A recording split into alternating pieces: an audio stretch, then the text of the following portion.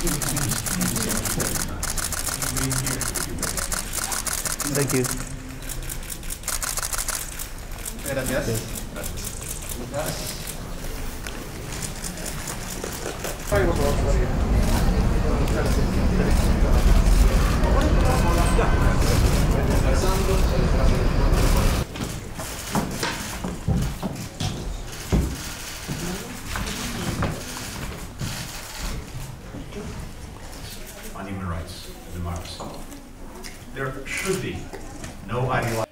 We have a, I think, a shared responsibility, but also an opportunity, working closely together to do exactly that, to deliver results for our people.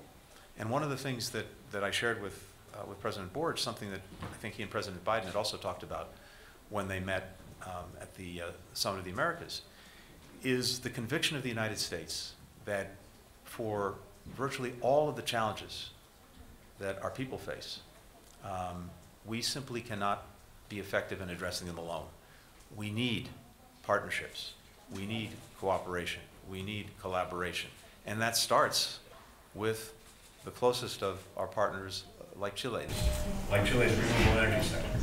And we intend to build on those five. Nuestra posición es que esperamos que el grupo de contacto inicial que, está en México se puedan retomar las conversaciones con el gobierno de Maduro, como también con la oposición venezolana, lo que queremos como país, y en eso estamos en la misma sintonía con Estados Unidos y otros países de la región, como también países europeos, que se puedan retomar estas conversaciones con mira a que en Venezuela el 2024 puedan haber elecciones libres y democráticas. Gracias a todos.